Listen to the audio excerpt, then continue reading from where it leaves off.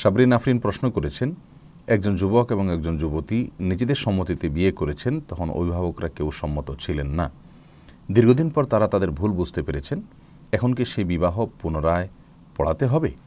বোন সাবরিন খুবই গুরুত্বপূর্ণ একটি প্রশ্ন করেছেন। এই বিষয়টি নিয়ে আমরা অনেকেই বিভ্রান্ত থাকি এবং অনেকেই আমরা ধোঁয়াশার মধ্যে থাকি। যারা এই দেশে অর্থাৎ বাংলাদেশে অবস্থান করছেন এবং বাংলাদেশের সাধারণ ধারার ওলামা একরামের অর্থাৎ ফেকে হানাফিকে ফলো করেন। সে সমস্ত ওলামা একরামের ফিককে তাদের কাছ থেকে মাসআলা জেনে সেটাকে যারা ফলো করে থাকেন, তারা কেউ যদি বিবাহ সম্পাদন করে থাকেন অভিভাবক ছাড়া, তাহলে ফেক হানাফির দৃষ্টিকোণ থেকে তাদের বিবাহ বিশুদ্ধ হয়ে গেছে। আমরা বিষয়টা নিয়ে মত পার্থক্য যে আছে স্কলারদের মধ্যে ইমামদের গণের মধ্যে, এটা আমরা জানি যে ইমামে আবু হানিফা রহেমাহুল্লার মতে, অভিভাবকের সম্মতি ছাড়াও প্রাপ্তবয়স্ক নারী পুরুষের বিবাহ সম্পাদন হয়। যদিও অন্যান্য ইমামদের মতে ইমাম আহমেদ হাম্বল, ইমাম শাহির রহমাউল্লাহ প্রমুখদের মতে অভিভাবকের সম্মতি ছাড়া বিবাহ সম্পাদন হয় না। যদি হয়, সে সম্পাদন সেই বিবাহ বাতিল বলে গণ্য হবে। এটা সঠিক বিবাহ হয় না। যাই হোক, এ মত পার্থক্য আমরা সবাই জানি, সে বিষয়ে আমরা যাব না। আমাদের দেশে প্রচলিত ফিকে হানাফি বা হানাফি ফিককে ফলো করেন ওলামা একরাম। সেটার উপর ভিত্তি করে কেউ যদি বিবাহ সম্পাদন করে থাকেন অভিভাবক ছাড়া, পরবর্তীতে তিনি মনে করেছেন যে তার এই কাজটি সঠিক হয়নি, বরং যে সমস্ত ইমামগণ অভিভাবকের শর্ত আরোপ করেন বিবাহের বিশুদ্ধতার জন্য, তাদের মতটাই দলীয় দিক থেকে বেশি সমৃদ্ধ এবং শক্তিশালী, এমনটি তিনি মনে মনে করেছেন। তাহলে এই পর্যায়ে এসে তিনি যে বিবাহ আগে করে ফেলেছেন, সেটাকে কি কি বলবেন? এমনকি সন্তান হয়ে গেছে, তাহলে কি বিবাহ হয়নি? তাহলে সন্তান কি অবৈধ হয়েছে? তাহলে কি তিনি আবার পুনরায় বিবাহ পড়াবেন? এই প্রশ্নটির উত্তরে আমরা বলব যে, না, তাকে আর পুনরায় বিবাহ পড়াতে হবে না এবং সন্তান যেগুলো হয়েছে সেগুলো অবৈধ হবে না।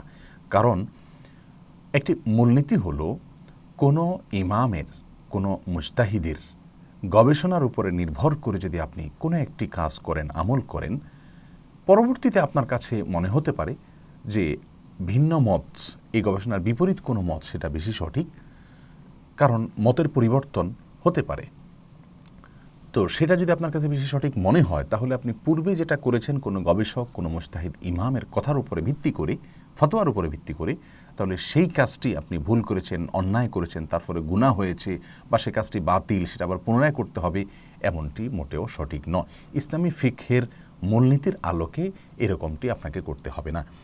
শেখ মোহাম্মদ সালেহ আল মুনাজিদ হাফিজাহুল্লাহ, বিশ্ববিখ্যাত স্কলার সৌদি আরবে অবস্থান করছেন। তার ইসলাম কিউ এতে তিনি একটি প্রশ্নের জবাবে এমনটি বলেছেন যে আপনি কোনো মাস আলা যদি কোনো মুস্তাহিদ থেকে জেনে আমল করেন, তারপরে আপনার কাছে মনে হলো যে আপনি যেটা করেছেন সেটা সঠিক নয়। পরবর্তীতে আপনার কাছে তেমনটি যদি মনে হয়, তাহলে পূর্বে যেটি আপনি করেছেন, সেটি ফলে আপনার গুণা হবে, ভুল হয়েছে বা সেটাকে আপনার পুনরায় করতে হবে। ব্যাপারটি কিন্তু সেরকম নয়।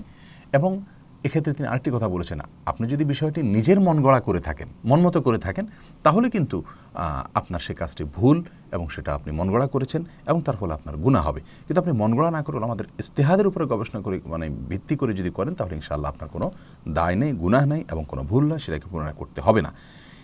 এবং এ বিষয়ে ইবনু কোদামা হাম্বলি রহমাহুল্লাহ আল মগনীতি একটি উক্তি করেছেন। আর তা হলো, ফাইন হাকামা বিসেহাতি হাদ আল আকদি হাকিম আও কান আল মোতাওয়াল্লিলি আকদিহি হাকিমা লাম ইয়াজুজ নাকুজু। অর্থাৎ বিবাহ অভিভাবক ছাড়া বিবাহ যদি কোনো কাজী দিয়ে থাকেন, কোনো শাসকে দিয়ে থাকেন ইসলামী রাষ্ট্রের কোনো দায়িত্বশীল কেউ করিয়ে থাকেন, দায়িত্বশীল অথরিটি করিয়ে থাকেন, তাহলে সেক্ষেত্রে সেই বিবাহ ভাঙার নির্দেশ করা যাবে না।